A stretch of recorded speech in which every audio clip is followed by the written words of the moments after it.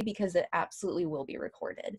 So this is our general outline. We will have a break for water and other things during that, but we're just gonna go ahead and get started.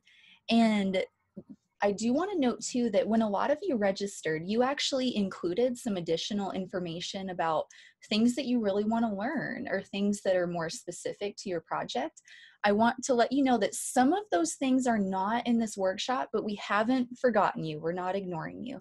There is actually some additional materials that address that, and we'll uh, make those available to you at the end of the workshop. We are going to get right in. So, what is data management? Now, I know from the registration that some of you are experts in this area of data and data science. Some of you are beginners. And so, for some of you, this is going to be, be a refresher, and for some, it's going to be pretty new. So, what is data management? I would like to back up actually and say, well, what is data or what are data? Really, in a basic sense, data is just a collection of some kind of facts. So this could be a lot of different things. I think sometimes we're sort of trained to think that data is it's just numbers in a spreadsheet, but it's actually so much more than that. And I'm actually my background is a little bit of environmental studies, but I would say mainly humanities. So for me, data looks quite different than a spreadsheet. So we can think about numbers being data, words can be data, um, measurements, observations, descriptions. It can be so many different things. And you'll see this as we go through our activities today. All disciplines have data. So you could be in engineering, you could be in fine arts, and you could be in everything sort of in between that. You have data. So even the humanities have data. I know some folks in here are coming more from a humanities social sciences background. You absolutely have data as well in your discipline. And actually, it can include more than just the data sets themselves. As you'll see in our activities today, what we, what we think of as data is so broad, and it can include the things like code books, documentation, metadata, et cetera, that sort of accompanies our data. So we're gonna dig into that really, really heavy today. Now, okay, let's go back to what the slide is titled. What is data management then? Data management is just managing these facts, whatever data we have, so we can get the most information we can out of them, so we can extract as much information as possible. And ultimately, it helps our work have a better impact and people can understand it better. They can use your data if you're sharing it. There's so many more things that can happen when we manage our data well. So, some activities, if you think of data management as this big umbrella and there's all of these activities under it, that might include doing things like organizing, documenting, tidying. Another way you might hear that referred to is cleaning data. So, if you have, you know, like a messy data set, cleaning data, um, naming things, sharing it, all of these different activities fall under the realm of data management. Why do we do it? Well, you know, in a very kind of fundamental sense, for a lot of funding agencies, it's a return on investment because they're investing this money in your project and they want to make sure that you know you're producing and taking care of this data that they have funded.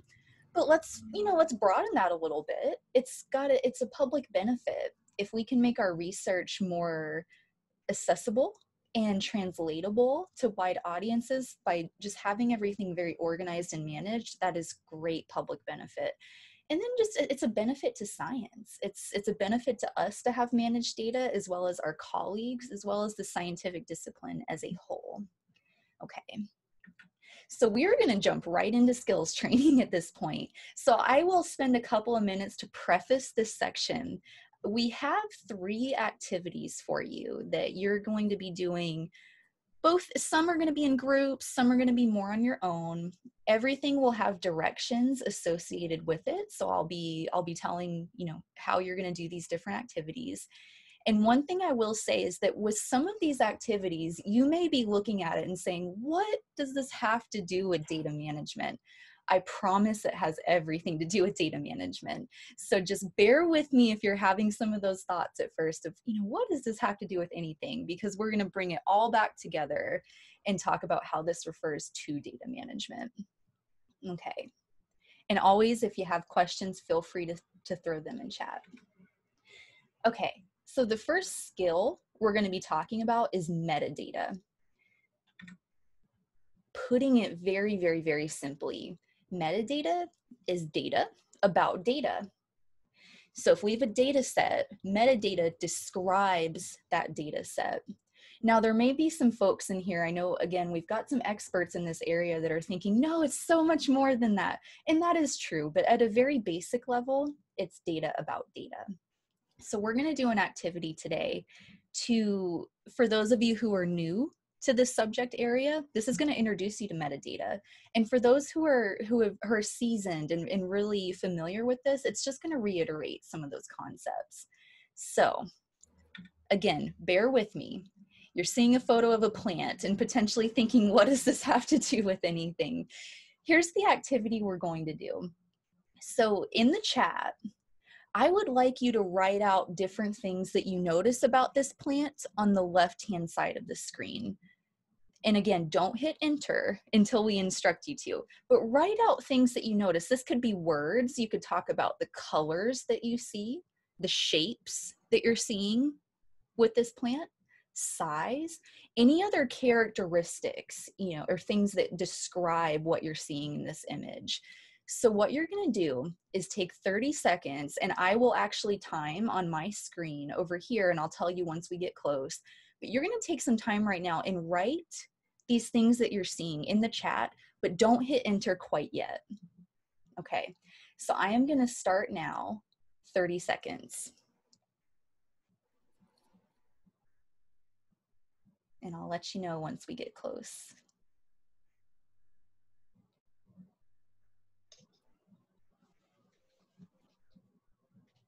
And be sure not to hit enter quite yet. We'll hit enter all at the same time at 30 seconds. Okay, about four more seconds. It goes very quickly. Okay. Okay, go ahead and hit enter. Excellent, excellent, excellent. Oh, I'm seeing some wonderful things here. Okay. Great. Great, great, great. Okay. So I am seeing some amazing things in the chat. Thank you so much for going through that. So what we're going to do now is go to the next slide.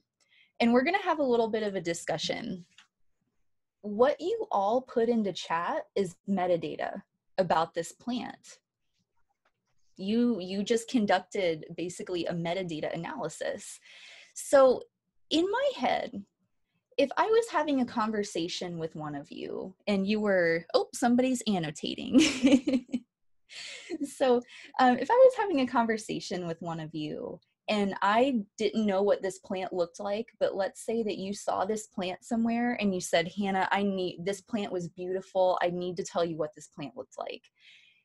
Even if you didn't have a picture for me, but you used some of these descriptions. So I'm going through the chat now, I'm seeing, um, so it's got multiple branches, absolutely. Green, kind of a sphere shape. Um, it's in a green pot. I'm seeing rounded leaves lots of different shades of green. So I'm seeing a lot of these dense canopy. If you were using these descriptors for me, in my head, I could pretty easily start to imagine what this would look like. I could maybe even draw out what this looks like based on your descriptions. And so you can see here metadata, because you use these different descriptions of the plant, it helped me recreate what the actual thing was. Metadata accomplishes this when we think about applying this to data. Again, it's describing some sort of data digital object without it means that we don't actually have to be looking at it to imagine what it looks like. So you all did an amazing job at that because the things that you put in chat even if i had not seen that picture i would be able to pretty much in my mind create what that looked like. And i'm confident that it would it would look a lot like that actual picture. Let's think about this a little further now now i'm sure a lot of you have been to museums uh, particularly in this case natural history museums And sometimes the, the little specimens have a tag tied to them. And this, I mean, this could be for any kind of museum. Oftentimes you'll see a little tag or you might see a little placard with information next to the specimen that's metadata. So particularly here, you can see this tag, it has different things written down about the specimen that's describing context about how the specimen um, how they how it came to be how it came to be in possession of this museum other things that you would need to know about it. So now that we've thought about you know what is metadata what does it look like i'm going to show you another example. So here i have an image of an apple ii personal computer and this is actually some metadata that i created. And you can see on the right here metadata t- not all the time but you'll tend to see it in something that's called an xml file and i'm going to put that in the chat. Xml file. And this is a file that's often saved with a data set and again it, it describes different things about the data. So in this case remember when i said earlier that data can be very diverse?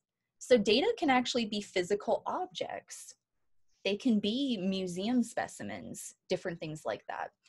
So let's say that this is in a museum, and then I have some metadata that describes that. You can see here, it's got the Smithsonian National Museum of American History, the creators of the computer. I even have the materials in here in the size. So this is sort of doing what that tag is doing for the museum specimen and saying, here's what you need to know to truly understand this piece. So that is sort of metadata in action. Now, one thing I'll say here too, and a lot of this, a lot more details in the handout that you'll get.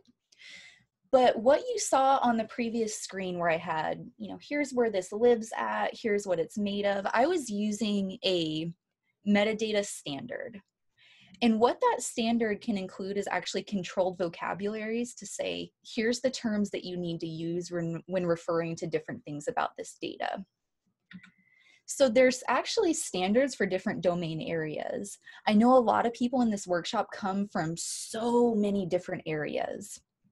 And so you see here that I've got a link, and you'll get the slides at the end. I've got a link to some different domain areas for metadata.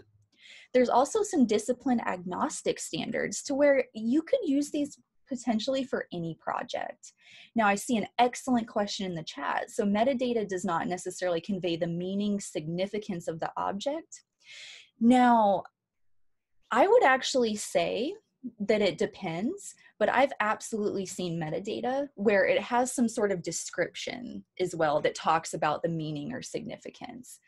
And so that's absolutely something that you can see, especially when we're having metadata for things like museum specimens, um, objects of some kind, even data sets, there, there can be a little section that's sort of a description or abstract, and that's where you could convey some of that meaning and significance. And when you're looking at different metadata standards, that's where they should be able to talk about that a little more and tell you if there is an existing term within the standard for, for writing things like that. And again, the handout that you'll get at the very end will talk a little bit more about metadata. Okay, excellent. Okay, so that was just a little activity to think about metadata. Again, if you have any questions, feel free to throw that into chat. But what I'm gonna go ahead and do is move on to the next one. And this is file naming. So what am I talking about when I say file naming? This is actually naming our digital files in a manner that's organized and descriptive. So this is what I'm thinking about if you have your local file explorer on your computer, or a Google Drive or Dropbox or whatever you're using to organize your files. This is talking about what you're naming those actual files. So I have another activity. And what we're going to do here is similar to the metadata activity in that you're going to be given a certain prompt, and in this case, an image. And you're going to type into the chat essentially following the directions that I'll give you, and you're gonna wait to put that in chat. Okay, So the directions here, you're gonna see three images on the screen. And I want you to pretend like those are image files that you have in your research. So that might be, you know, a PNG, JPEG, something like that. Consider these to be image files that are a part of your data, they're a part of your research project, you're saving them where you have all of your other project files on your computer. Now, same thing in the Zoom chat. What I want you to do is type out how you would name this file and this is where the metadata comes in. Pay attention to what you're seeing in the image that might be really helpful to know or to put in a file name. And don't hit enter until I say. One thing I want to note here is don't worry too much about, okay, you know, I need to make a, a really good file name. I need to do like best practices for a file name. I want you to approach this how you would name files today, right now in your projects, if that makes sense. So don't worry about perfection. Try to hit it to be as close to reality as possible. How would you name this today if you were working on your project? Okay. And again, for everything I will time, I'll say start 30 seconds and then I'll say end, and then we'll put everything into the chat. Okay. This is the first image. Now I'm going to describe it before I start the 30 seconds. Now this is a Facebook post. I want you to think about the different metadata that you're seeing within this particular image here. Again, pretend this is an image file on your computer. I am going to start the 30 seconds now. You can type a, and so you're gonna type a sample file name. How might you name this image file? You can do more than one if you like if you're if you can think of different ways that you might name this you can feel free to put that in the chat as well i'm going to start the 30 seconds now and i'll tell you when we get close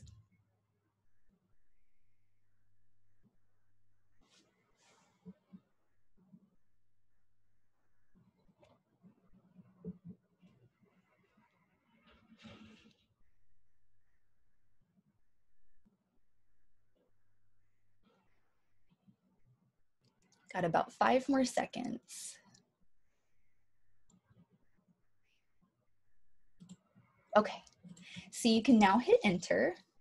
Excellent, excellent. Look at these. This is great. Oh, this is so good. This is so excellent. Okay, so I'm seeing some really cool things here.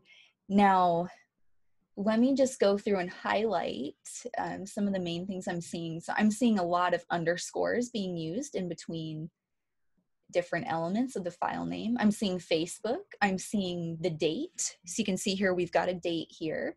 I'm seeing Sean Nicholson, who's the creator of this post. I'm seeing haiku. Excellent, excellent. Let me see what else I'm seeing here. Oh, somebody has somebody has Starbucks here, which is a definitely one of the themes that we're seeing within the within the image. I'm seeing facebook post snapshot excellent. You all did an amazing job with this. So we're going to repeat this again with another image. It's the same thing. Here's the second image. You can see that i've included some metadata here. I am going to start the 30 seconds now so write down a potential file name.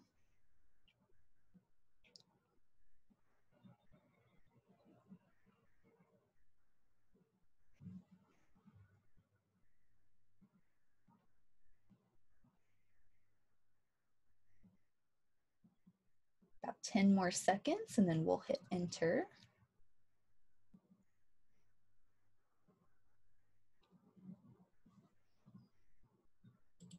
Okay, go ahead and hit enter. Excellent, excellent. This is great. This is so good. Yep. So I'm seeing so many amazing things. So many people, I would say everybody, are including this metadata in the file name. That is great. I'm seeing some folks that are including the elements of the image that they're seeing. So they're talking about a beach, talking about a shore, that is great. I'm seeing France being in there. Let's see. I'm seeing some people include today's date. Excellent, excellent. Great, great. This is wonderful. You all are doing such a good job with this. Okay, we're gonna repeat this one final time. This is an image of an album cover. Okay, so we're gonna do this again. I'm gonna start the 30 seconds right now.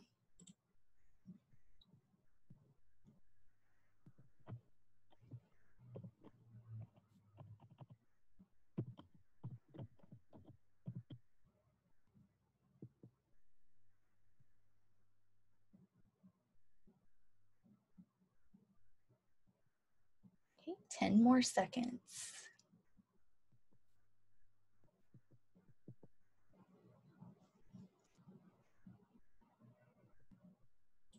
Okay, go ahead and hit enter. Excellent, excellent. So I'm seeing folks in their file names note that this is an album cover. Great. So we're seeing Elton John. I'm seeing folks talk about the date, the date range. Excellent. And this is really interesting too. So some folks are talking about what the actual image is composed of. So drawing of an artist. Great, great. Excellent. Okay. So again, some of you may be sitting here and saying, I don't know what this has to do with data management. Let's move on to the next slide and, and bring this all together. So in a file name, you want to include all the important elements for you and your collaborators. So a lot of folks in here in your registration talked about wanting to learn more about team activity or working within a team. So here, this is really helpful to have some kind of file naming scheme that works for you and your team and helps you quickly identify files.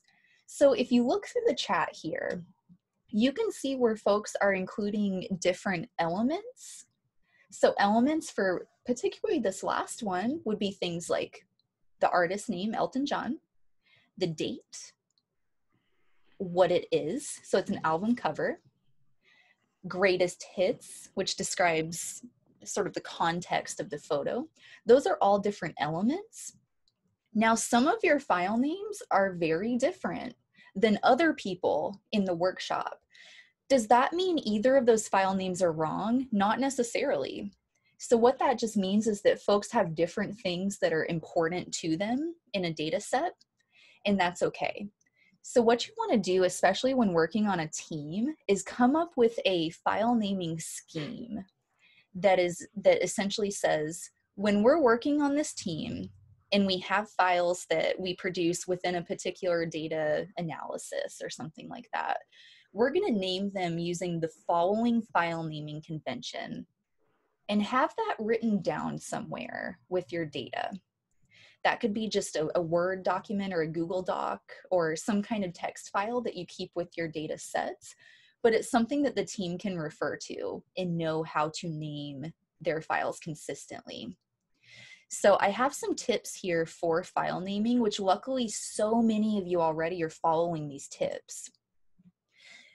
Ideally, you should have no spaces in the file name it's always a good idea to use underscores instead when you're separating the different elements. I'm seeing so many people do this already in the chat, which is wonderful. So I, I really recommend using underscores when possible.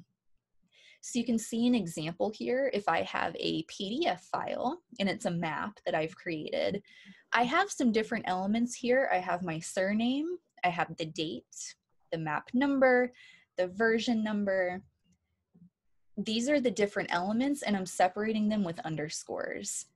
You can see here, this is a file name that has some important elements, but it's got spaces in it. I would recommend ideally not doing that. So ideally using underscores.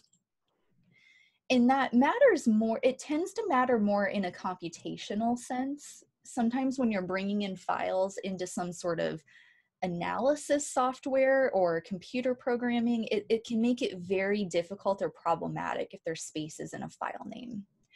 So next, I see some of you following this as well already, which is fantastic. Dates should ideally be written, it's called an ISO 8601 format. And this is an international standard for writing dates. And so we can see here it's the year written fully out, the month written fully out, and the day written fully out. So I have an example here 2020, June 27. And putting it this way, putting the date this way in a file name just means with an international team, that date's going to be recognized more easily. Now, I have an example of why this is so important to use this date. I have a, I live in the USA and I have a collaborator in the United Kingdom.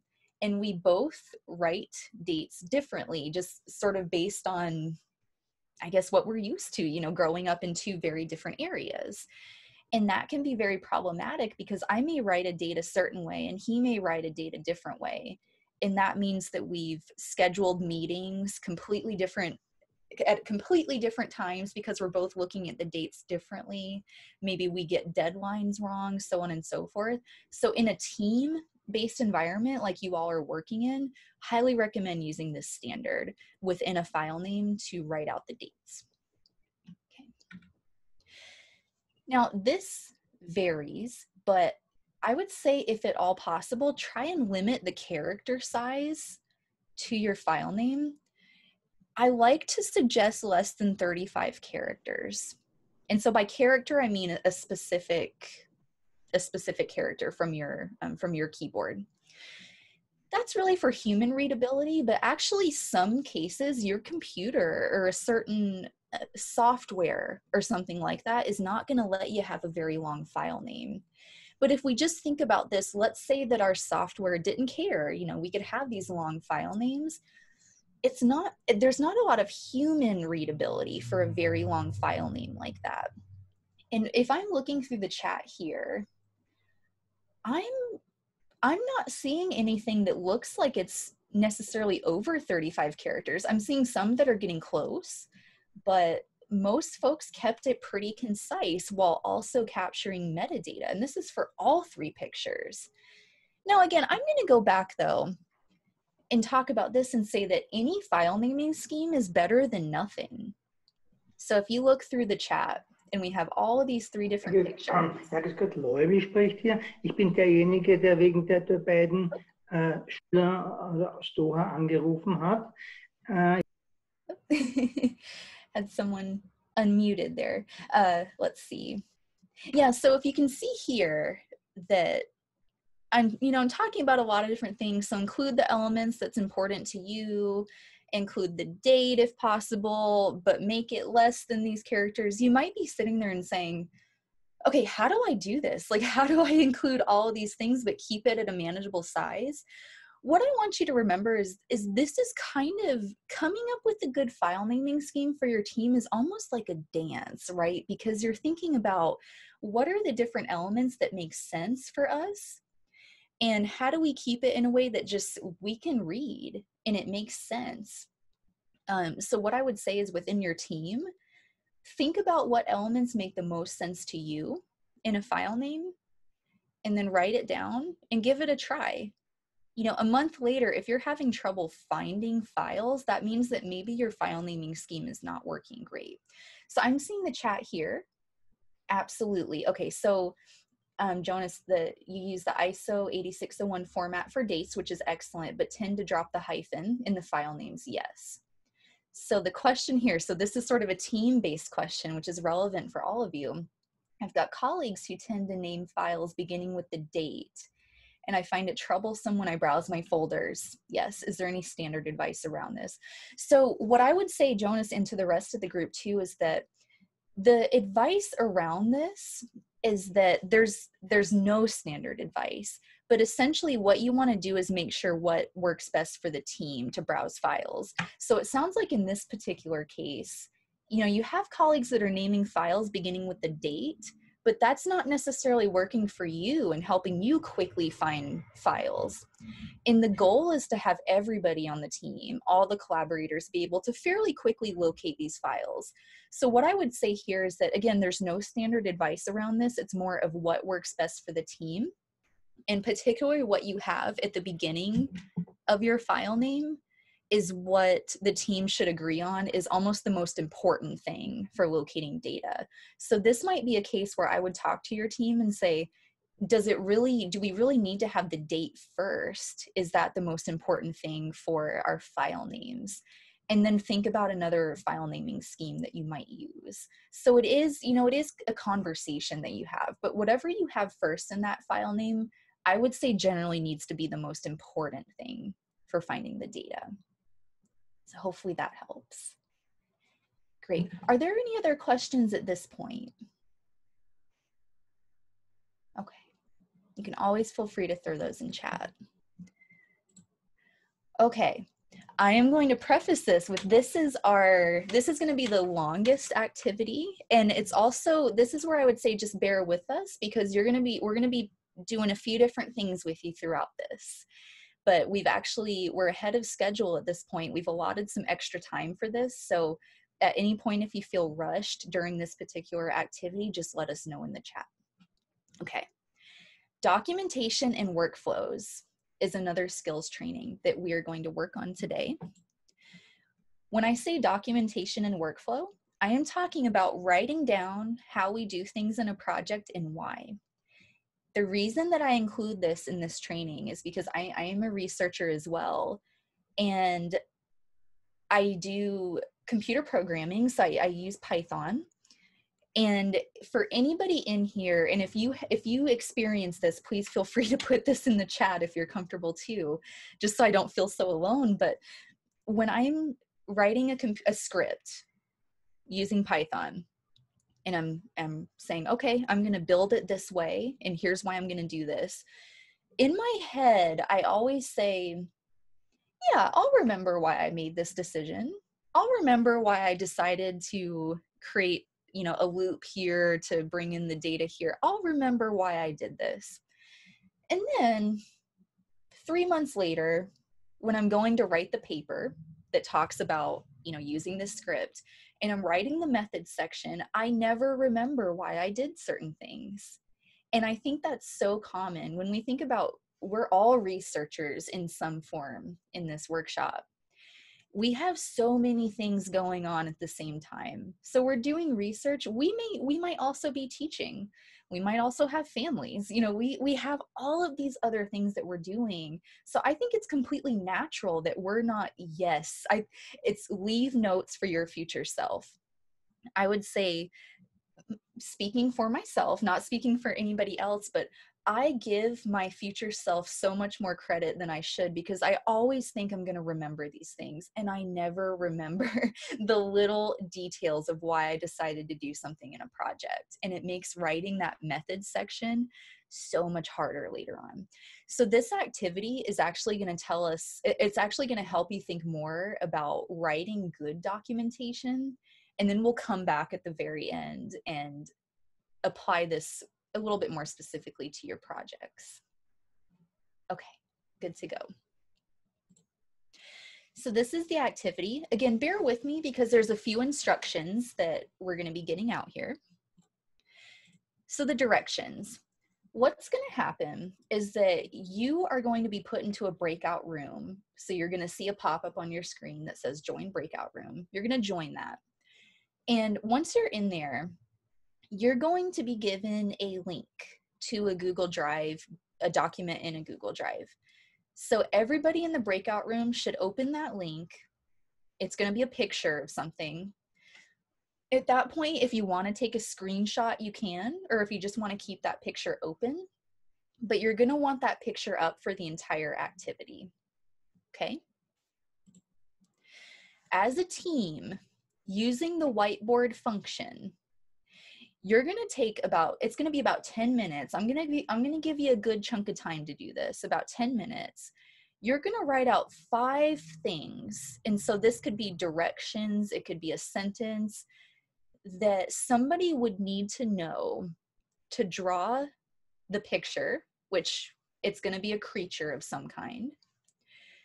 What would they need to know to draw that without explicitly saying the name of the creature so let me reiterate what that looks like. So when I run this workshop in person, what I would do is give the different folks in the workshop a picture.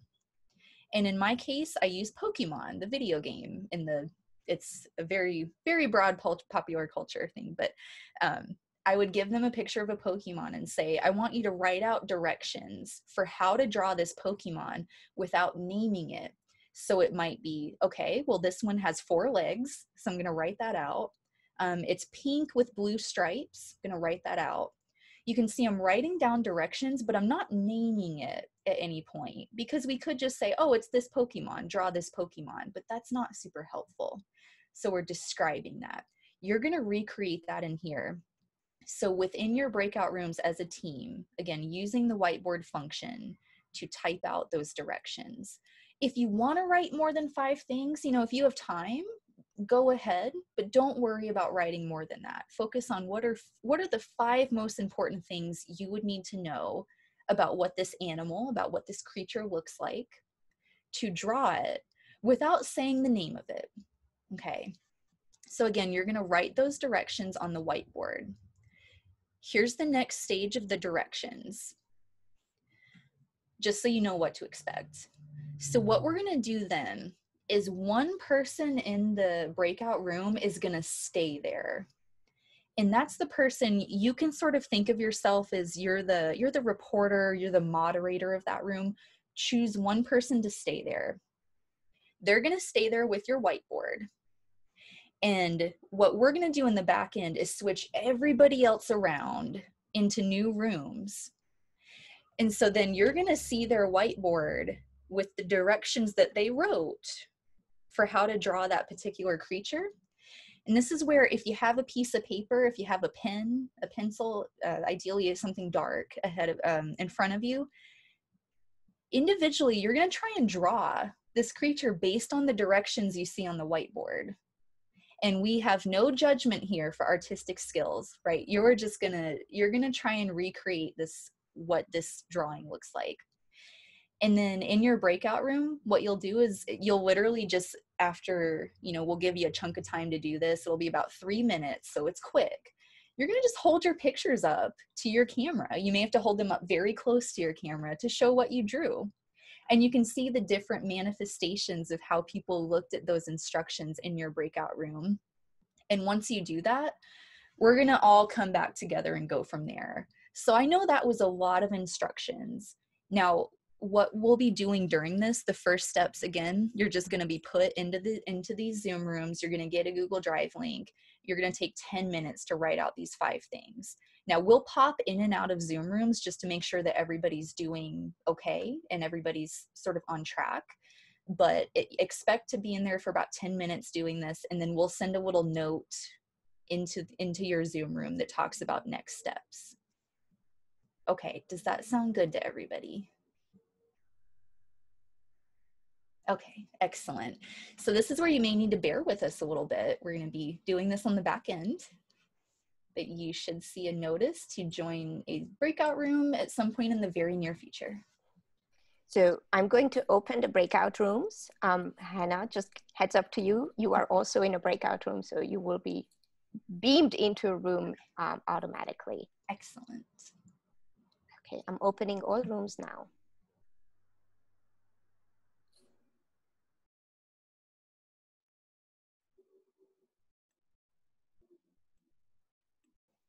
And that hi, it's hi everyone sorry to to uh, interrupt i'm here and i see that everything is going and you're already doing your uh, workflow mm-hmm.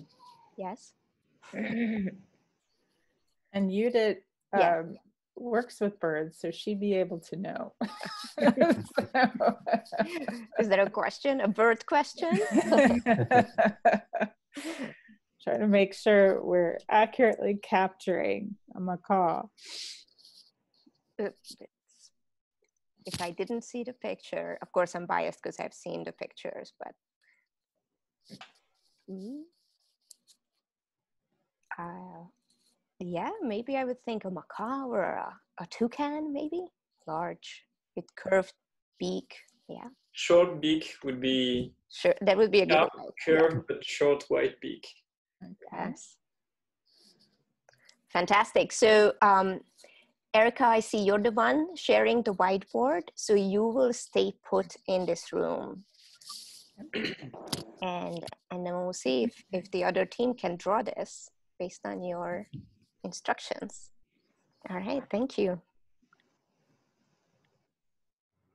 Okay, so I'll ask her about that.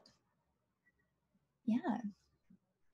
Yeah, so when you're doing stuff like this, how this applies, oh, black bordered flippers. Yeah, I was wondering if somebody was going to mention that. Yeah, that's a good point is that we've got these stripes, we've got the orange color, but also on their on their little little flippers, we're seeing that black border there.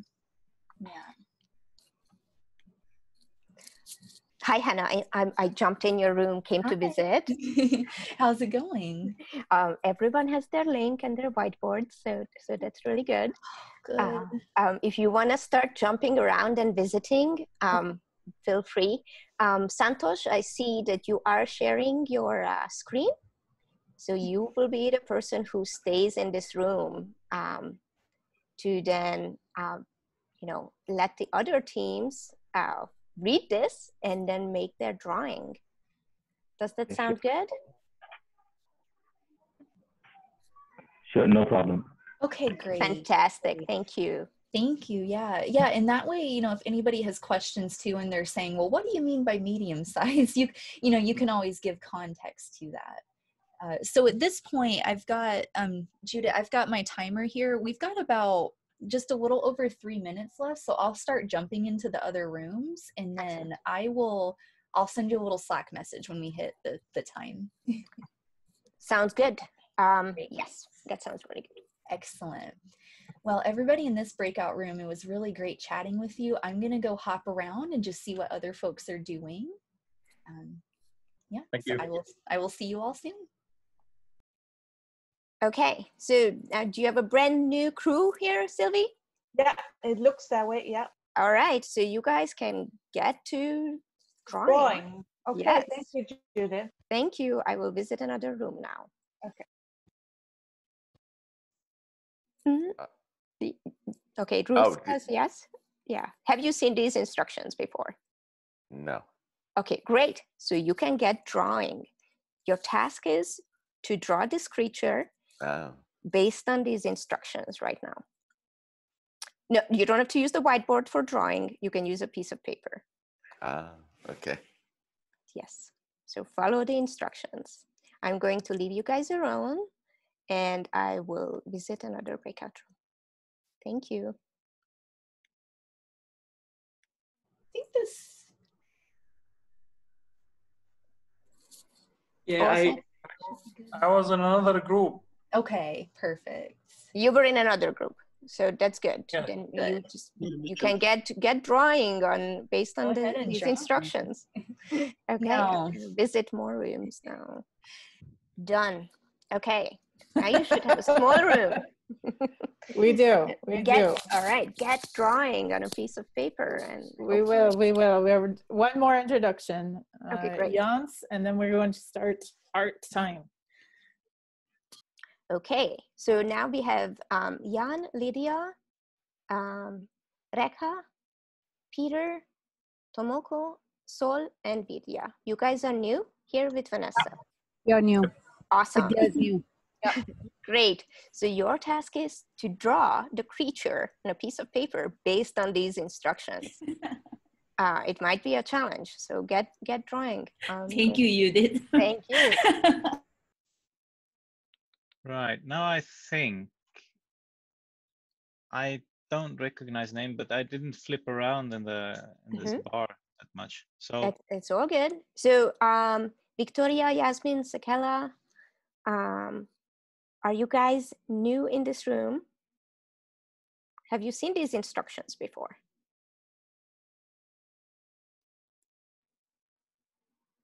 Oh, you you are all on mute, so we don't know. Okay, I see, Hannah. You're new to this room. Fantastic. So your task is to look at this whiteboard and try to draw the creature on a piece of paper based on what you see. Okay, great. I'm, I'm getting confirmations that you guys are new and you have already drawn. So perfect. You, you know what you're doing. Um, so Jonas knows what these instructions uh, described. So if you hold up the picture to the camera and share it, he would be able to check your work and see, um, not your work, really, his group's work on whether they get left good instructions to create it. Okay, see some drawings. Beautiful. Hold it close to the camera. Perfect. I, I think, yeah, we, we have identified at least the, the, the taxon pretty closely. Sakela and Victoria, you guys can and also give it a try and share it. Um, unfortunately, I'm traveling, Oh, so I okay. cannot do Oh. much. okay, good, good. But you can see, I hope you can see the pictures others are sharing. yes, I'll camera. just see picture of the others. Excellent, excellent. All right. So th- this exercise is going pretty well. I'm going to just follow up in all the other rooms and um, make sure that um, everyone is on board with workflow. All right. Hi, everyone. I see some drawings happening. Is, is everyone working quietly? sounds like. Feel free to draw on paper and just hold it up to the camera and share. Yeah, I already have this one. That's a different one. Different. yeah, that's a animal. different one. That's that's the one I had had, had to read. yeah. Did anyone else share? I'm just visiting the rooms now. Yeah, we did already. Uh, yeah. Yeah, we did. Awesome. Okay, great, great. All right, everyone should be back. Great. Sounds good. Okay.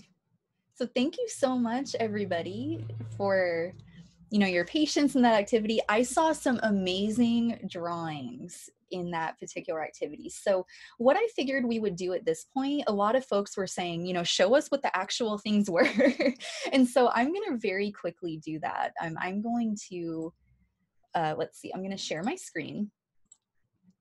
Okay, so this was one of the this was one of the images so the folks who had the particular instructions that correspond to what so we did we do the image like per breakout room number judah okay Yes, yeah so this is image one so this would be if you were in breakout one okay. This is image two. So we have a clownfish. Image three. Yep. Image four. Image five. And image six. So those are all of the actual images we had. And I'm gonna make sure I have my chat up here. So at any point, if you wanna share what your drawing looked like, feel free to just put that in the chat. Say, I'm sharing my drawing, and then that way we know which name to look for in the videos. Yeah. Maybe we can do, uh, sorry to interrupt and, and come up with a new idea, but maybe we could do like a gallery view of everyone holding up their pictures. Yeah. Uh, if we would need to stop sharing screen Okay. and everyone hit gallery view. Sure. Yeah. Let me stop sharing here, and I've got gallery view up. I'm gonna hold up mine. You can you can feel free to laugh. Mine mine is is very um. oh, look at all these! Oh my gosh! Look at all these beautiful pictures. this is amazing. Uh, this is so cool. So I Um, love this because I didn't get to draw. I, I was just visiting and I only saw very few, but it's amazing. I Yeah. Oh This my is great. gosh! Look at this. This is so great. This is so great, everybody. thank you for Oh sharing and entertaining Thank you us. so much, everybody. ah, wonderful. I really Wonderful, appreciate this. this is great. This is excellent. So, what I'm going to do is we're going to just wrap all of this up together. I'm going to share my screen again. And we'll just wrap this particular part up before the break. I'm gonna view. Okay, so we went through this this little activity, and what you did is you wrote documentation. And as you were going through this, you know, a lot of your I looked at your directions in the different breakout rooms. You listed metadata, you listed context for where this creature lives, what they're doing, you know, what is it about their species. So you wrote excellent documentation for this. So now let's bring this all back to research. So I have some recommended practices that are especially for a team-based environment, like really all of you are working in. When you're writing documentation, you're seeing here, you, I really recommend having some kind of digital notebook. So again, we all drew this on our own, on our own individual notebooks. Some people use the whiteboard. But if I had a workflow and I wanted to share that with somebody, it's going to be a lot easier, especially with a team and maybe we're in different countries, different time zones, different disciplines. If we can share those different things in a digital environment, that's great. So with something like this, I recommend using a digital notebook. And in the handout that you'll get at the very end of the workshop, I actually recommend some tools for, for doing that. So one of them that I want to really briefly mention right now is a free tool called protocols.io. And this is actually a workflow tool.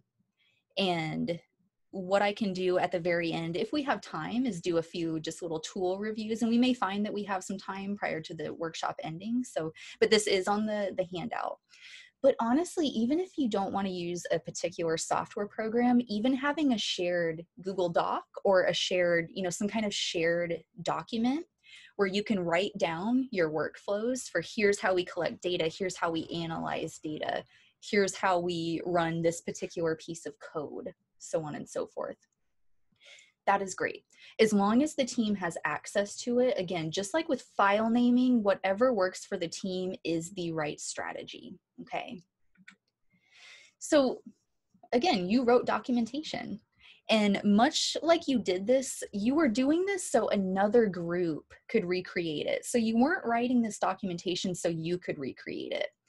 But when we're talking about documentation for our own research, we're also we're doing it so we can recreate it and so we can refer to it when we're writing our final reports and our manuscripts, our presentations, but also so other people can understand it. Maybe even people outside of our subject area. Could they understand what we're doing based on our documentation? So detail is good. Detail is absolutely good in this situation. So really quickly, before break, I have a few things. So we've gone through all of the skills training. And now the question is okay, this is great, but how do I incorporate this into a project? What I have here are some really just quick tips and tricks for making sure that this is a part of your culture within your research project. The first is making it a part of your workflow you should you should truly see data management as being something is just as important as the data collection the analysis the visualization the writing the manuscript. You should see data management as a, a true important part of that workflow. Having a data manager for your project is excellent but understand it's also everybody's responsibility to support the culture of data management. So stick to the file naming schemes you know write documentation different things like that. It's really everybody's responsibility even the one person may be actually running that. What i recommend is in your team set aside 15 minutes a week or whatever how many however much time you need set aside 15 minutes a week to do a quality check on your data. So, are we sticking with the file naming schemes? Are we staying up to date on our workflows? So on and so forth. The reason for this, if you do a little bit every week, it means that when you get to the end of the project, you don't realize that there was a data management disaster. You know, somebody stopped using file naming scheme two months ago, or somebody's workflow documentation is lost. That way, you don't realize it at the very end. I would try and do a little bit every week if possible. And finally, when you have your team meetings, because I know a lot of folks in here, you're you're in different places, you're meeting over Zoom or over Skype or over the phone, however you do, however you do that. always devote a part of your team meeting to data management where you can talk about data management and talk about how you're doing it are are things changing based on how your data are changing based on your analysis make it a regular part of your agenda okay so now we have a break we're going to start the program back in 10 minutes sharp so we'll say it uh, about about 9.50 we'll start back so in the meantime if you have any questions or anything like that feel free to throw those in chat So at the hour 50, you come back and please everyone, if I can ask you to turn off your camera while you're on the break. And then when you return, turn it back on so we know that everyone is back in the room. Thank you all. See you in 10 minutes. Do is I'm, I'm going to leave the actual uh, slides here and give you a little tour of a few tools here. But what we have resources available to you are actually a scorecard for your DDOMPs to test the effectiveness of your DD DDOMP in describing adequately your data management, uh, a policy comparison tool, a toolkit, and some data management training videos. So what I'm going to do at this point, this link is very important. So this link, not only when you have the slides will you have this, but also on the handout that you'll get at the end of the workshop, it'll have all the relevant links you need. So I would say right now, just constant, don't worry too much about writing down URLs, just concentrate on um, the, let's see, concentrate on the actual tour. So this is following the link to the main um, website for e-infrastructures and data management. And you can see here, this is extremely important. Uh, it's, yeah, just right on the left side here, towards the bottom of the page, you can see some general principles and policies for data when you're doing your research. And let's see, I am going to, I'm going to zoom in just a little bit here so folks can, there we go, perfect. Oopsie. Uh, let's see, where did the, oh, it looks like it crunched the screen a little bit. Let me, that's okay, I can still, okay, so I'm gonna zoom in just so you can see the font a little bit more. But just when you go right to this link, what you're seeing here are some general, you know, policies and principles. Why do we care about open data? Why does it matter? And then how is the Belmont Forum supporting that? And from here, what you can see too is, you know, different things about what your data should look like in an idea, in a perfect world. You know, this is what you want to strive for your data to look like in your project and your data management. Now, what I'm going to do is just really briefly scroll back just to this size, just so you can see here. Now, if I click, the first thing we'll look at is the toolkit. If you click toolkit, it's going to take you to another actual, at this stage, another website. Um, and what this toolkit offers is so many resources for you as you're working on your project, as you're working on refining your DDOMP and your general data management practices. So if you see here, I'm going to zoom just to the, just so you can see when you scroll in what that's going to look like. You're going to see three main sections. You're going to see recommended practices for data management, links to different trainings, and a researcher guide for creating a DDOMP. Now, for the purposes of this particular tutorial, I'm going to go to researcher guide, and I'm going to zoom in a little more just so you can see here. Now, what this guide offers you is actually step-by-step -step instructions for making a DDOMP at multiple stages of your project. So if I scroll down here, you can actually find support for the three different stages that you will find yourself in when you're writing these DDOMPs. So we have our pre-proposal, full proposal, and awarded projects. Now for the sake of this, you're gonna click find guidelines. We're gonna go to the full proposal stage. And what you can see here is we have some videos that are linked and I'm also gonna show you some of those videos or show you where they are in a moment. But then you can see the questions here that you would need to include in that DDOMP in your final report, so on and so forth. And we actually have direct links to resources to help you answer those questions. So if you're not too sure how to answer one of these, we have direct links to help you here. So you can see here that it's talking about, okay, what do my data need to look like? They need to be understandable in a way that allows researchers, including those that are not in your discipline, to understand them. And then a description on how to do that. Right. So you should never you should never feel alone when you're going through this process of expanding your DDOMP and updating it, writing it, doing your final report on it because these resource re, these resources are here. We are here to help with that process. And so that is the DDOMP support. And I do just want to really quickly highlight there's some other resources as well. If I go to the data management training section, there are some training opportunities by geographic region.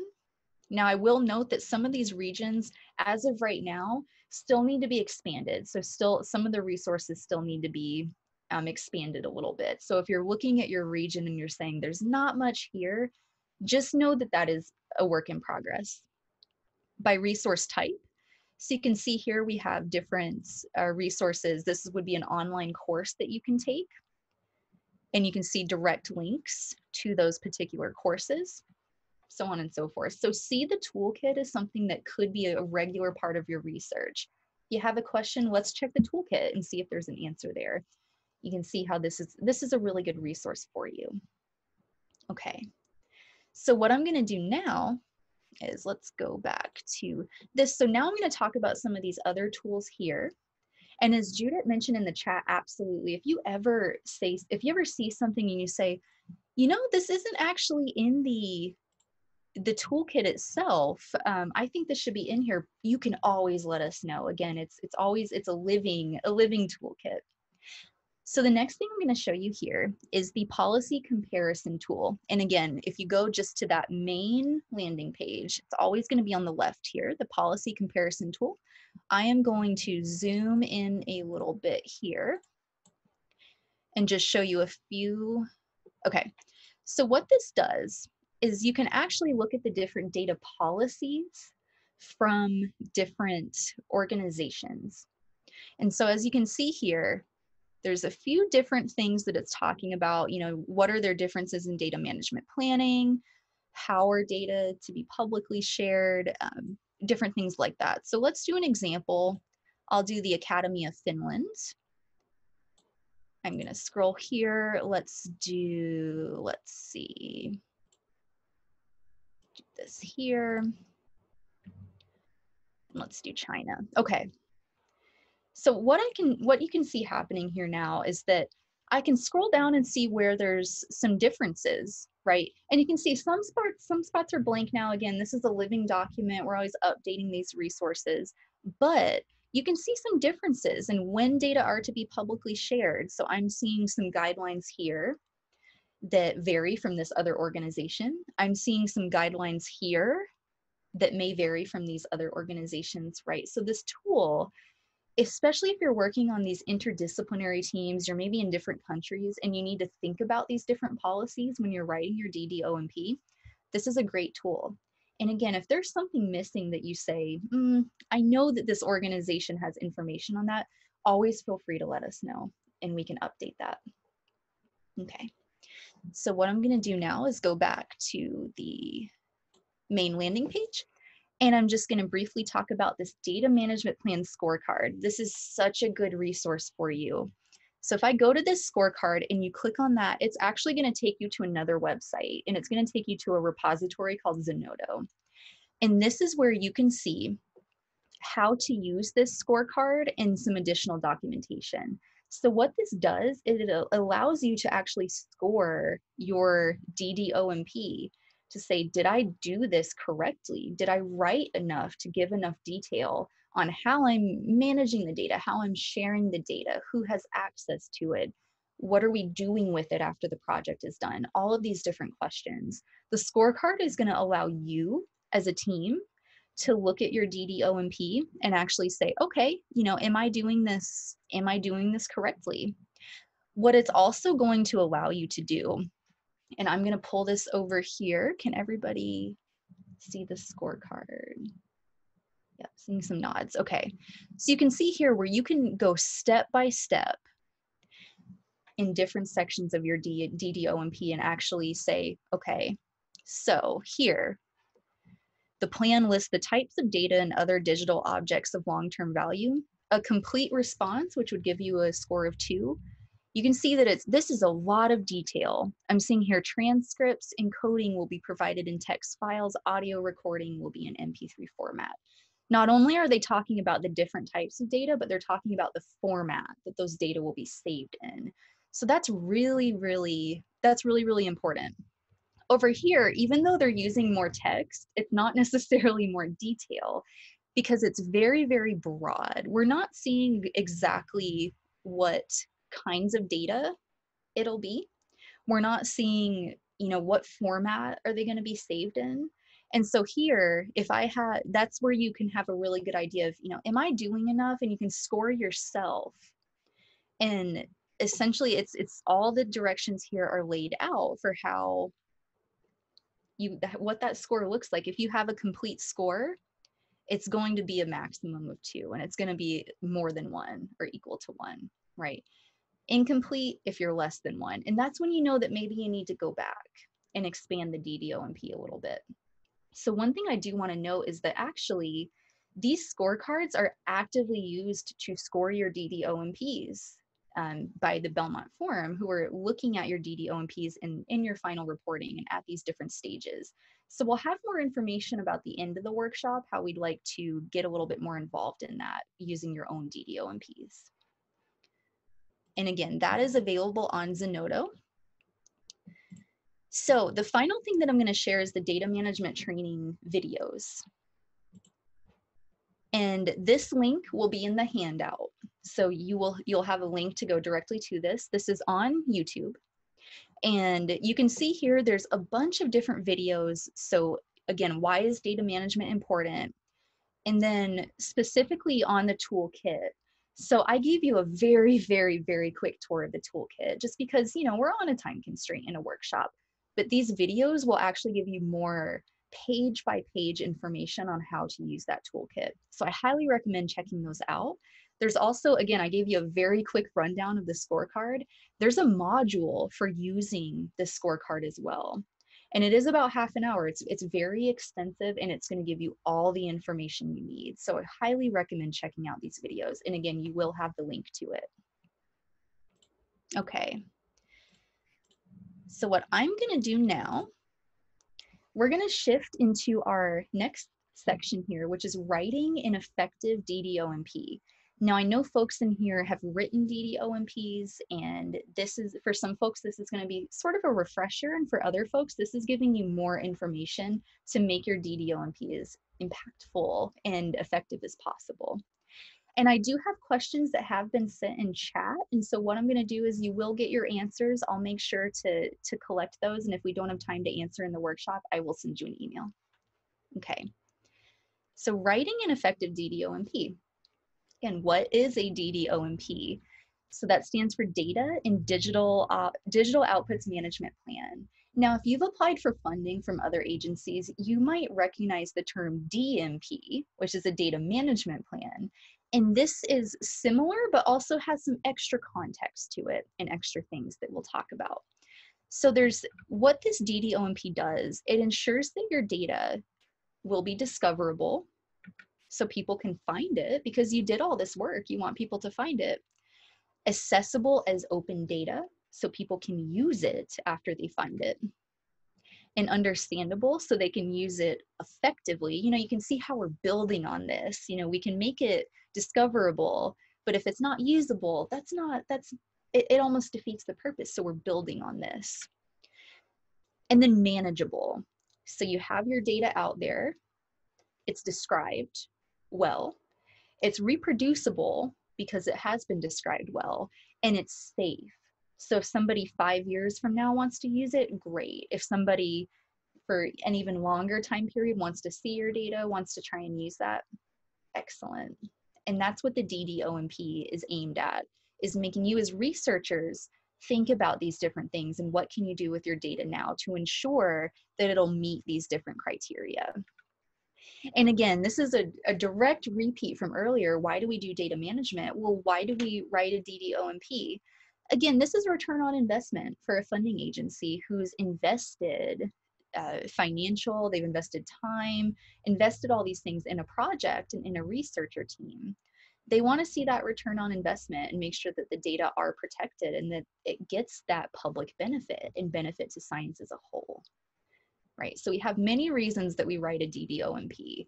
Sometimes when we're applying for funding and we say, okay, here's another thing we have to do, you know, it can feel like a burden, but I really would encourage you in this situation to, to not see a DDOMP as a burden.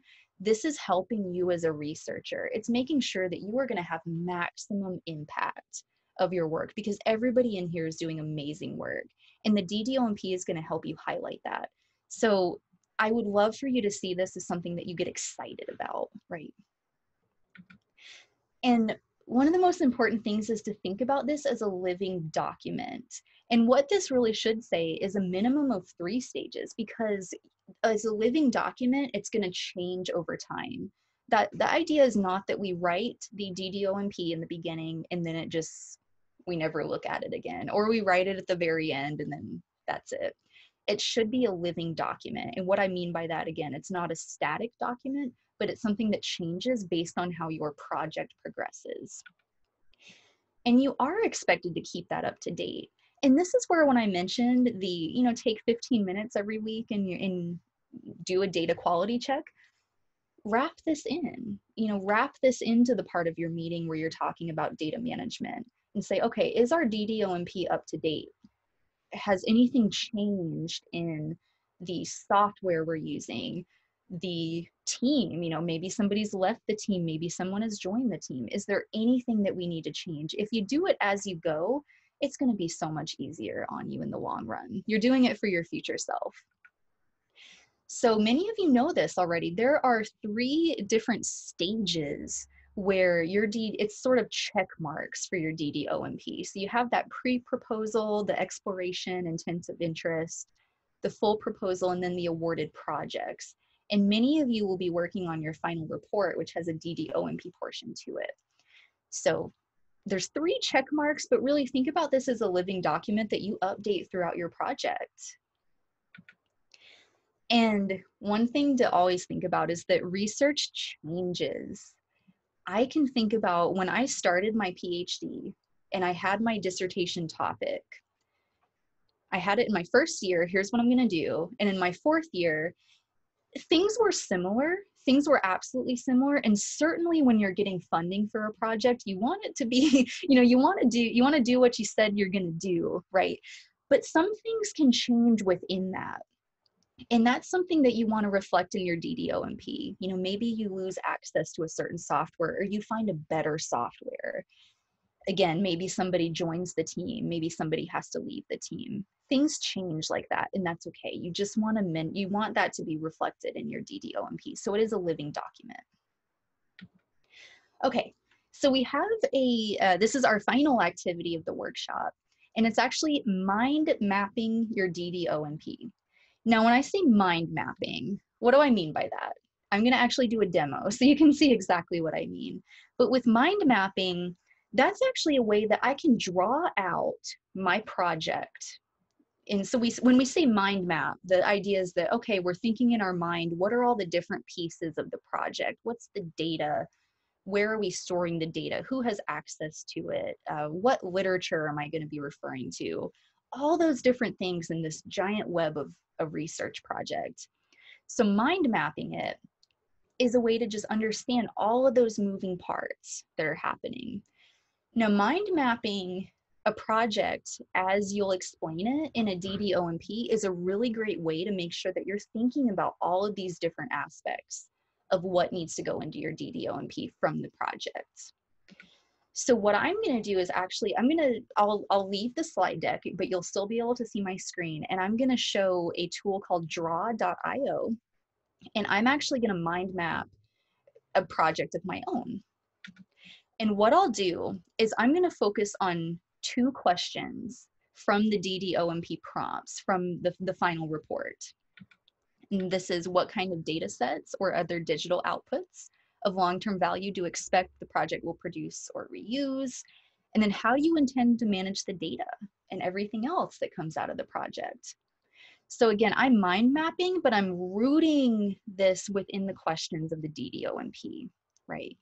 Okay, so what I'm gonna do now is go to, this is draw.io. When you do this in your breakout rooms, you're just gonna do this on a piece of paper. You could conceive, you know, you could use an online tool if you want, but you'll just do this on a piece of paper.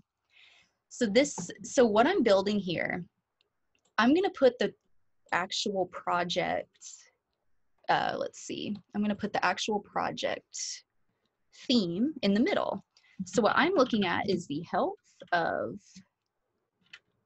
and I, and I will zoom in too so you can see this better because this is going to be tiny, tiny, tiny. Okay. Okay, so health of lobster fisheries in coastal Maine in the USA. So that's my project right? That is the, you know, in a sentence, here's what I'm doing. So what I'm gonna do now, remember that first question, so what kind of data that has long-term value or other digital outputs with long-term value do I think are gonna come from this? Okay, well, that's gonna be an offshoot of that. So I'm gonna, and one of the things I'm gonna produce are CSV files with different biological characteristics of the lobster. That's a data set coming from that. Now, remember it says data and digital outputs. And again, data are not just the actual data sets that we're talking about. So what else is gonna come from this? Well, I'm gonna have a code book that actually says what kind of variables I have in my CSV file what are the column names what are what are the things you would need to know to go through my data and understand it. So code book for csv files. And i'm going to connect that because that's another piece of data that comes out of it. Okay so i have that. Here's another thing that's going to come from this is that let's say i'm doing some statistical analyses and i'm using r which is an open source tool and I have some code that took hours to write and I don't want my team members to have to recreate this code. I want them to be able to use my code and understand it. Well, I'm going to have code that comes from this. And when folks are in the future, if they want to use my data and try and recreate this project, I want them to have access to the code. You know, that's a digital output from this project. So go ahead and put a, okay, so those, if I think about that, that's three types of data and digital outputs.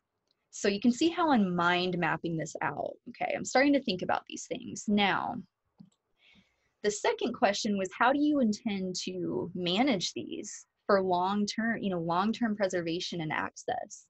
Well, a few things that I'm thinking, I'm gonna make these a different shape. So with the CSV files, I'm saving them in CSV format, which is great because that's an open format. But one other thing I'm gonna do is have three copies. So there's there's this adage that three or lots of copies keep stuff safe. And there's a few other uh, recommendations around this, which I'll have in the handout for you. But just for now, I'm gonna make three copies of that to protect its long-term value. And that way I'm making sure that if I lose a primary copy or something gets corrupted, I'm gonna have some backups.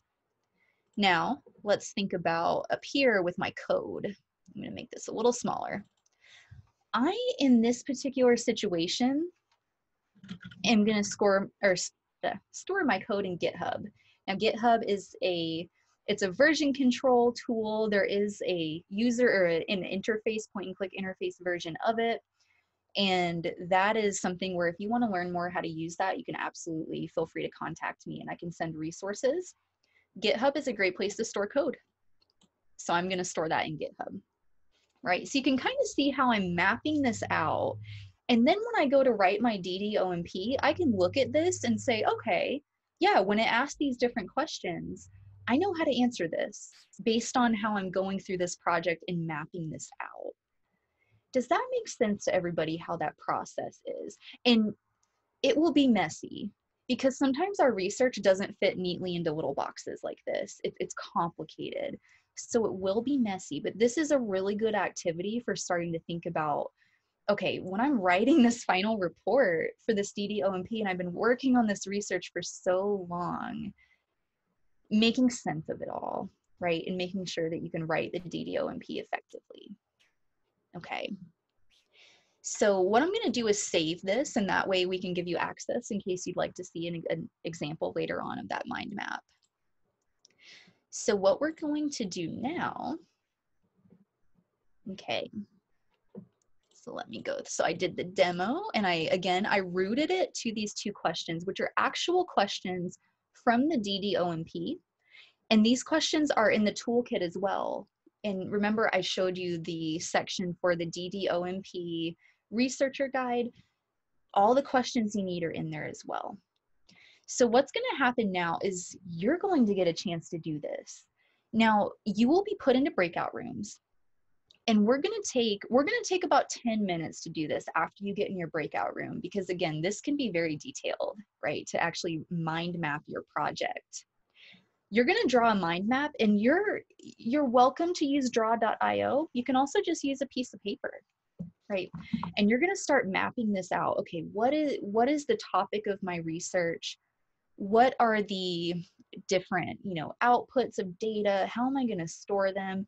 And when you're making your mind map, you can see I have these three questions here, which what I can do is after you're in your breakout rooms, I can put them in the chat so you have them, or you can feel free to take a screenshot of this.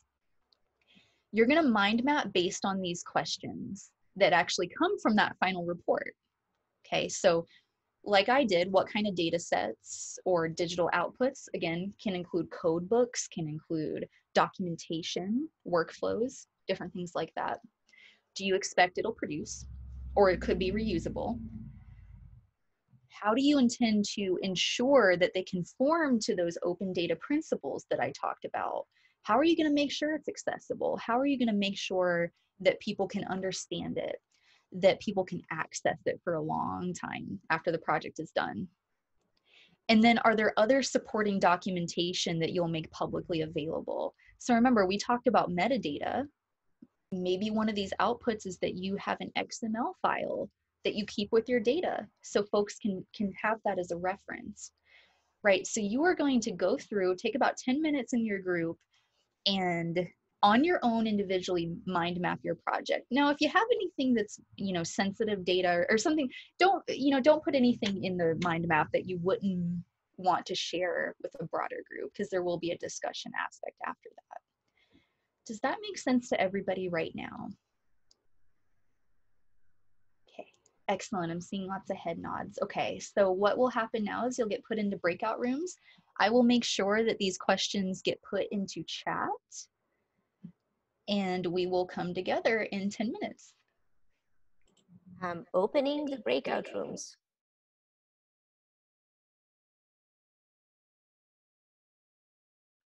Team members may be creating um, their own and needing to look at it as sort of an ecosystem of information. And Judith's put the questions in the chat. I I took a screenshot and I'm sharing that as well. Perfect. And um, does everybody know what FAIR principles are? Are you familiar with that?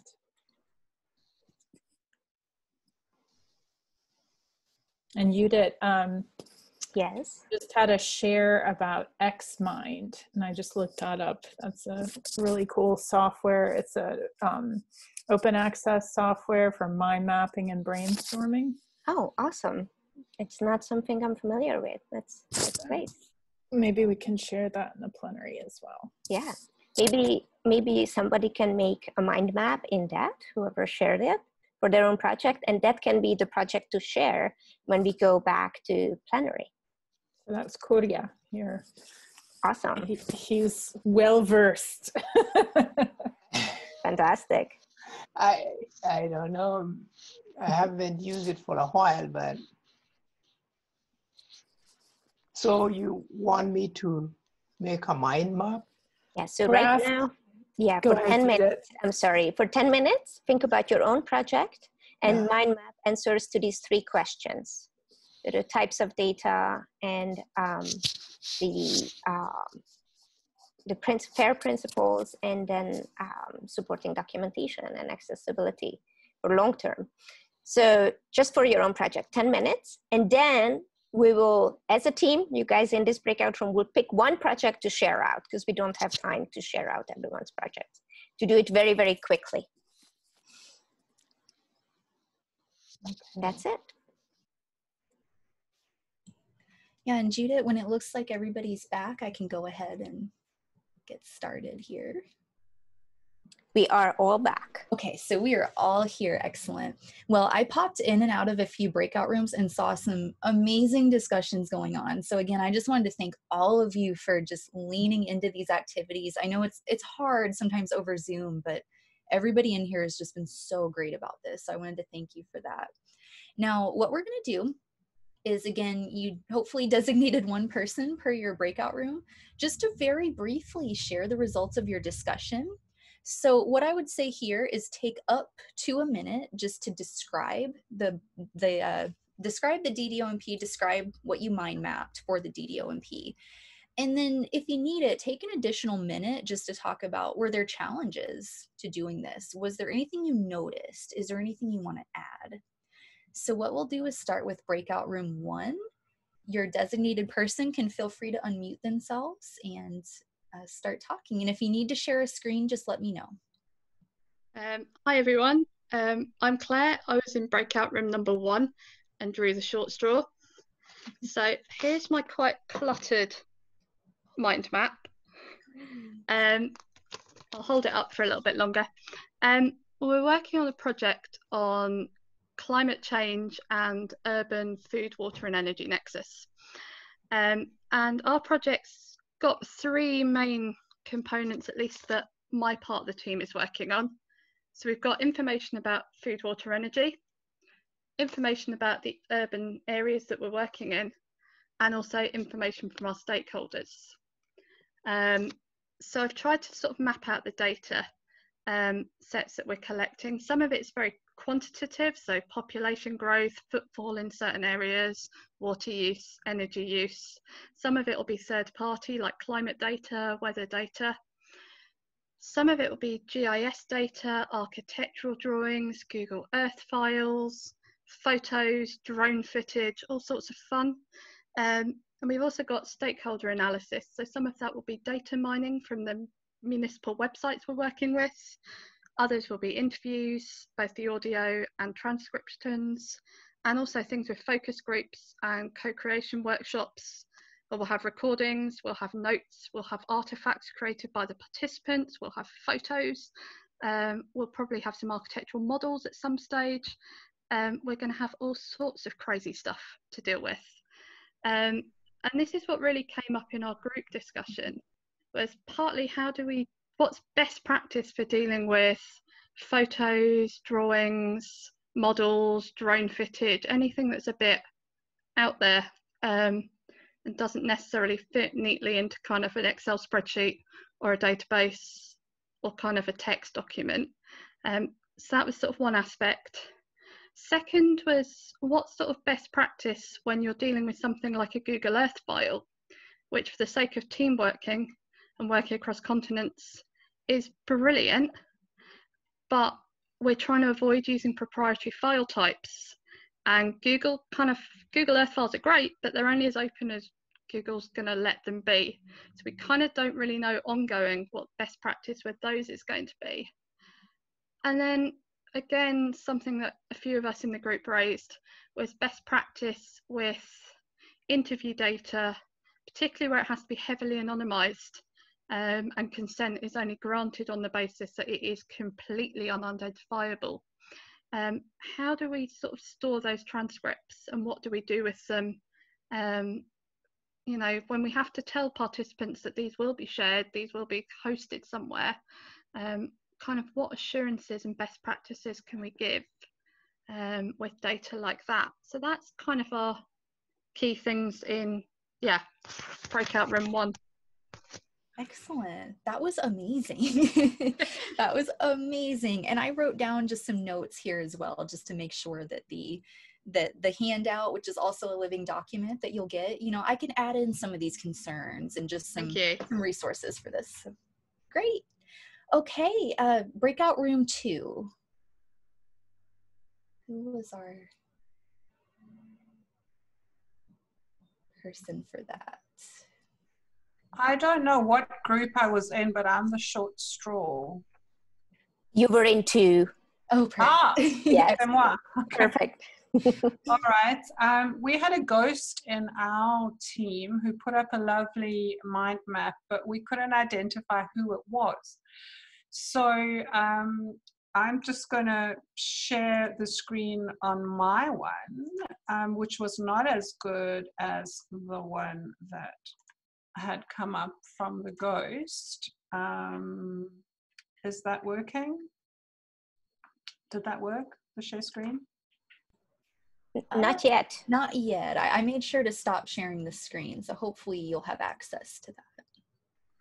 Well, I'm in South Africa, so maybe it's taking a long time. Okay, where's my mind? It's not coming up. Oh, there we go. There we go.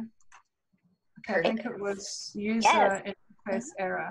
Okay, so that was this was not the winner. Um, this was the the the one I made, um, and it was just sort of starting to think about the different formats of the data that we would output, and some would be spatial and some would be temporal, and they would feed into models, and the models would output scenarios, so on and so forth. So that was just the the exercise about thinking around that. We did spend some time discussing challenges, um, which I think is more informative than my share screen. So I'm going to unshare my screen. Um, sorry, I've got about 25,000 things open on my screen right now. Hmm. Stop sharing. Right. So our discussion went around um, not so much the whole DDOMP, but actually how difficult it is to to get data out of your researchers that that where they actually comply with some standards that you've set for the project because nobody has time for that. People have only got time to plan their research go out collect their data come back analyze their data put it in the reports give Belmont their their their products and and nobody wants to sit down and reformat their data or put in metadata or comply with any of these things. So that's been my challenge for 21 years is to get my teams to actually do that and so you need to i believe and we believed in the group. They were yeah myself and lihanna in the group were talking. And we believe that you need permanent data management people in your team and that you need them to be funded and they need to be sustainable. It needs to be a post within your research team. It can't just be project by project.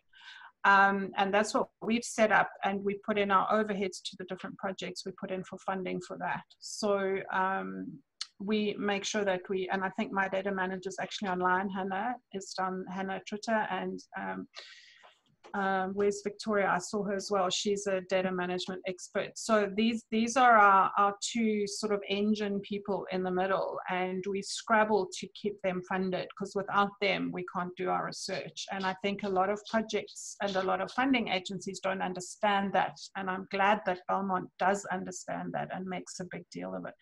So those were the sort of the two challenges: the keeping a funded data person, and then also getting your researchers to actually be good boys and girls.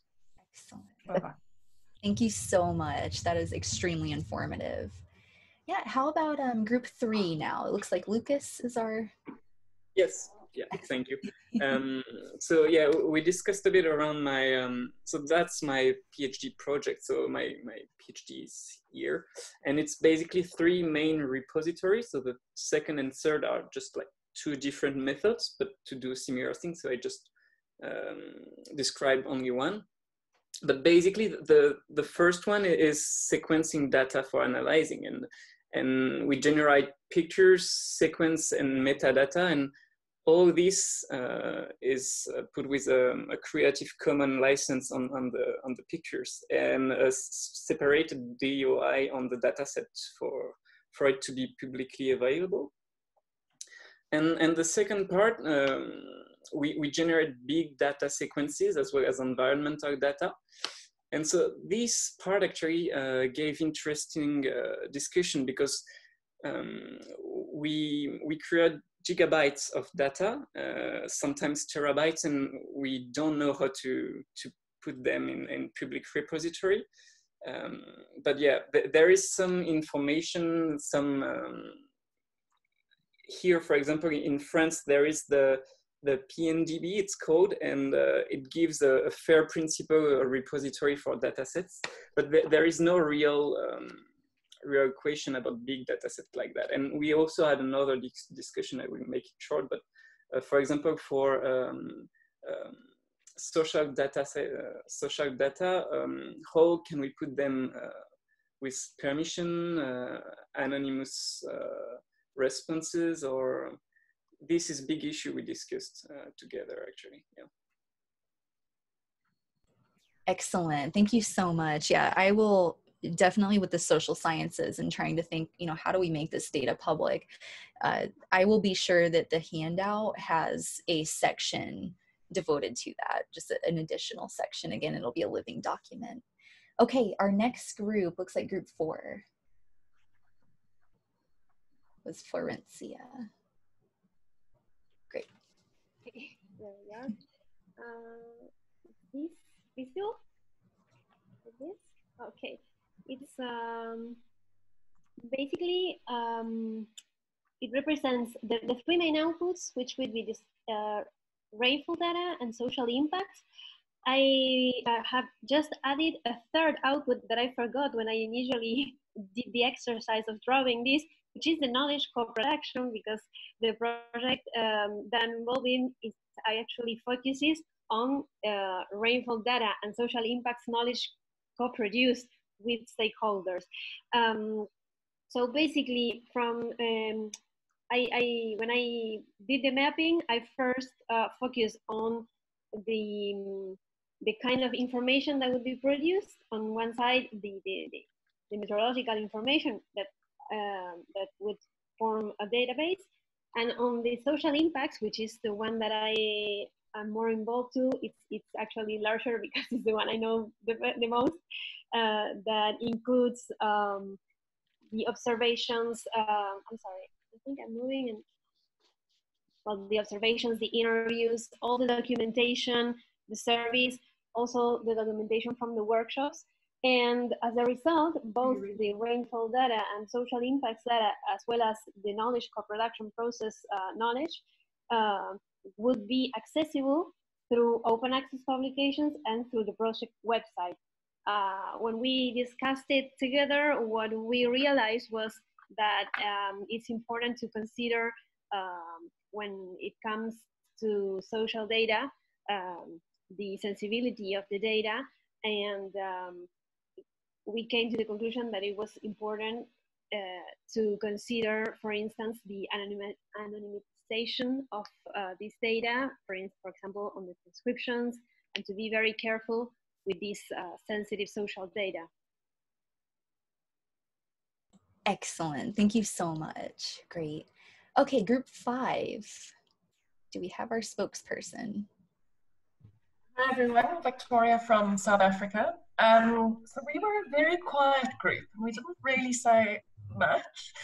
Um, so this was the one that I had put together.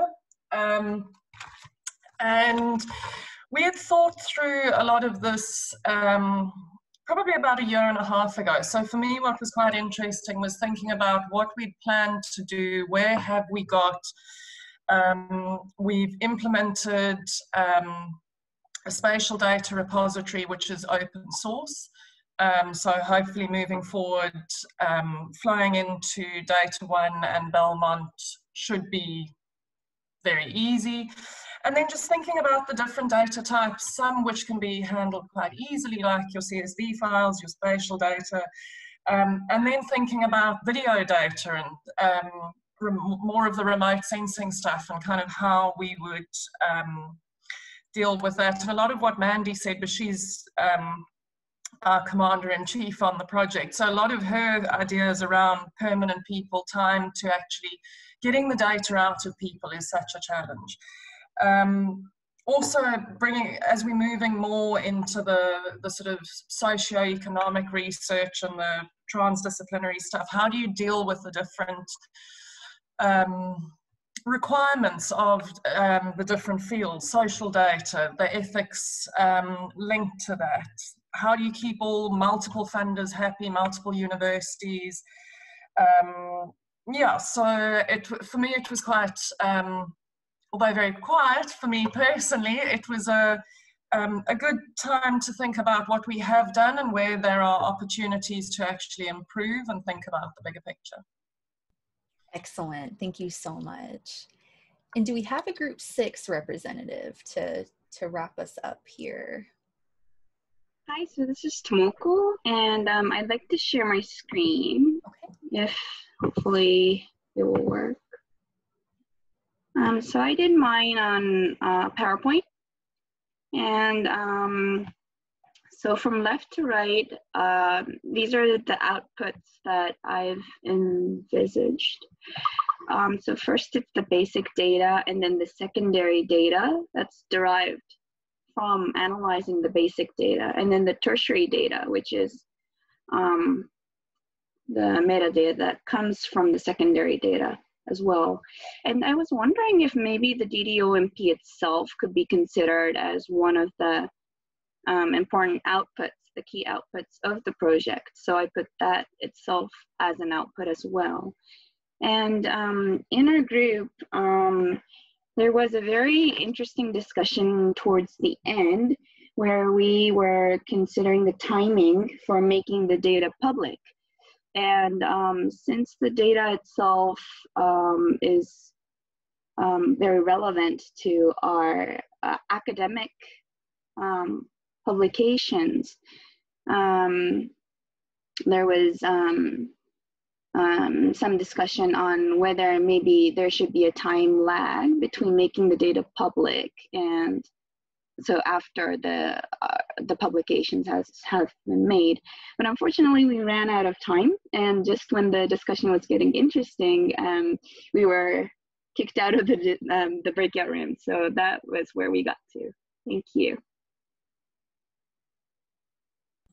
Excellent. Thank you so much, everybody. And I know we're at time. I have a, a single a solitary final slide to share here that just has um, additional information for you.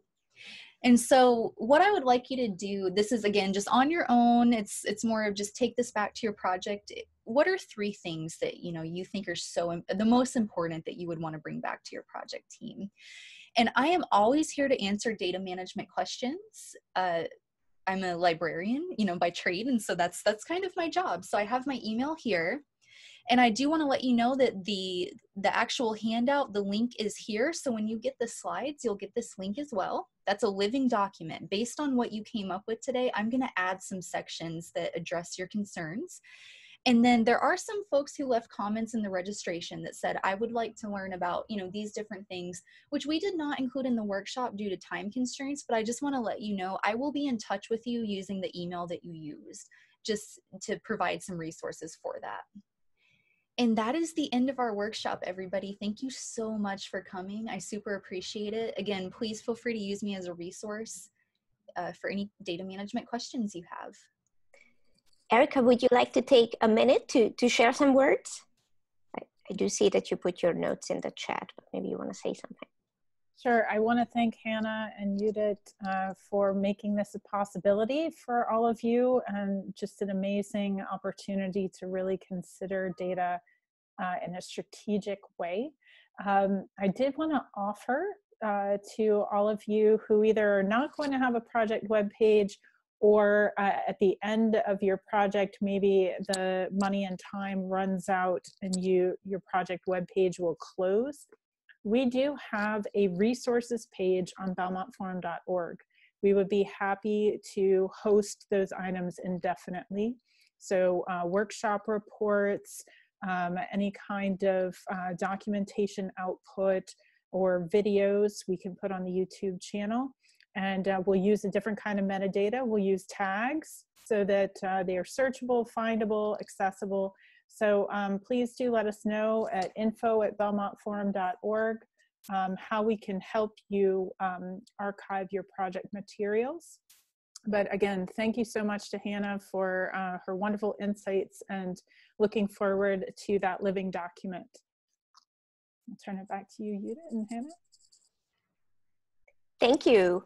And um, I do see some of you sharing um, the items that you will take back um, home.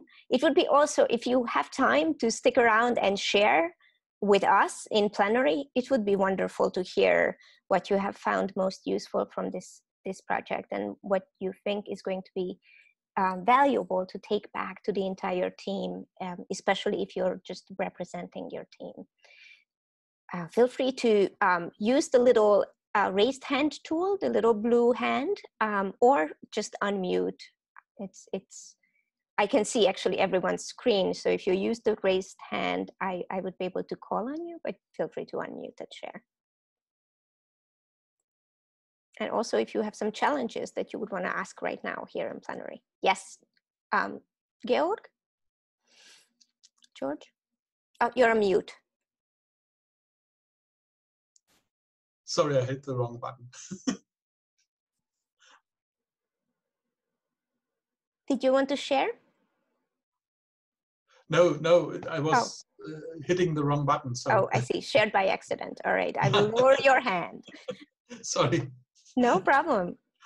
Um, anyone else? We don't have to do this either, so don't feel obligated.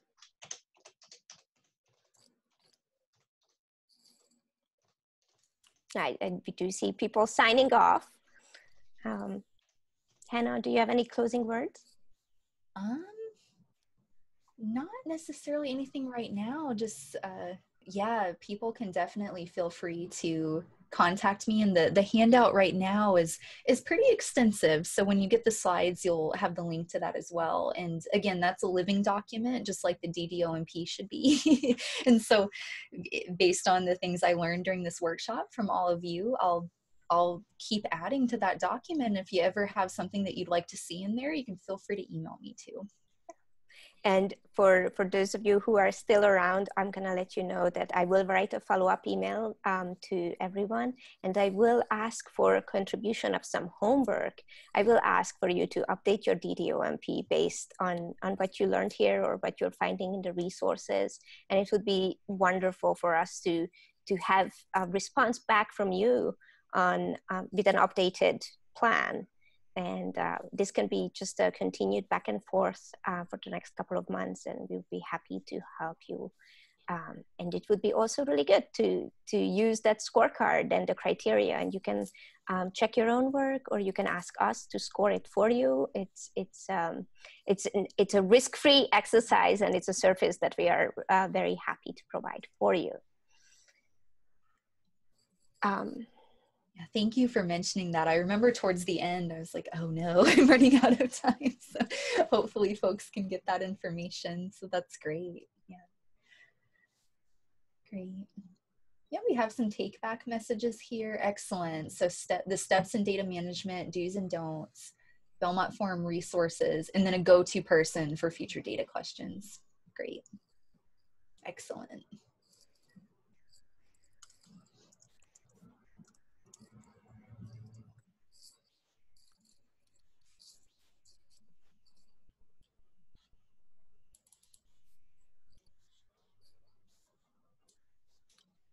Okay, so we see some folks signing off, but I, I do want to call out for um, Wael and Riam. Riham, if you want to. Yes. Uh, yes. Hey, how are you? Yeah. Uh, I have a question. Uh, I, I, uh, my, my, my angle for the session is totally different than the remaining of uh, the peers here. Uh, I'm looking for the uh, funding agency perspective. So I have some questions related to the data. Erica uh, offered that she can uh, store the data of the websites of the project that has been ended or uh, no longer has have fund. Uh, my question here, how, how could you manage different type of websites? Website has different technology, has different capacity, has different size of data. How you could manage this? So I, it, the offer is not so much to archive the website itself, but archive the content from the website. Um, so we maintain project pages and we're actually going to be amplifying the project pages to contain more content. But many of the, the project pages um, external to Belmont Forum, you know, have workshop reports or have um, you know, blog entries and things like this. And what we can do is take that content into uh, the Belmont Forum resource page and make sure we tag it appropriately. Um, so what many people probably don't know is when you come to belmontforum.org, we do have a search capability. For example, if you wanted to find all of the work that was going on and all of the resources for Greenland, you can type Greenland in the uh, search bar and you'll get that list. So, you're offering the, the, the storing the content only of the website. So whoever had the website have to extract the content from this website and give it to you in a format as a text. Not uh, will not give you as a as a workable website. You will not host the work the, the website in your site. Right? We can host um, different elements. I mean, I think it's on a case by case basis, but imagery we can handle. We can handle video through our YouTube channel. Um, so just from the experience of visiting our project web pages to learn more about the projects, um, a lot of them use WordPress or other uh, tools like that, and it's it's primarily an uploaded files or um, or posts. So we're not moving into like high volume terabyte data sets or um, complex So, models. okay, this is my next question. What if the website is also having that uh, big data, big volume of data, satellite data, uh, something like this? How how you could manage, or you do not offer something like this? I, I think we need to work with that team. I used to work with satellite data a lot. I know um, the issues with that, but there are appropriate and more accessible archives in Belmont Forum for satellite data. So I think um, part of the DDOMP process is really identifying effective, accessible uh, areas and using that scorecard to determine that. Um, because if you're archiving your data extremely well, but in a place nobody looks for it, Mhm. then you're not going to get that added value. You're not going to get the, resu- the reuse and the citation of your data set, which now contributes to um, career advancement in a lot of uh, university systems. Mhm. Okay, this is uh, uh, enough for uh, for now, but I think we'll uh, we need more discussion because we need we need to go in the implementation uh, plan how we can work with these uh, issues. Thank you, thank you very much, Erica. Thank you, uh, Judy. That is a very nice workshop, and we'll talk later. Thank you. Thank you. Thank you. Thank you. Thank you. Bye. Yeah, I love the comment in the chat. Um, Lydia, hopefully I said that correctly. Yeah, it's Judith and I were saying this yesterday. It's like we never learn this stuff early enough. it's always, I wish I had known this stuff when I started my PhD. It's always, whenever it happens is good, but the earlier the better. even even if it if it is after two years of project, uh, I think that we can implement some some uh, tips s- so to uh, to make progress and for mm future projects as well. It's it's very useful knowledge. Thank you very much. Thank you so much for coming. I appreciate it.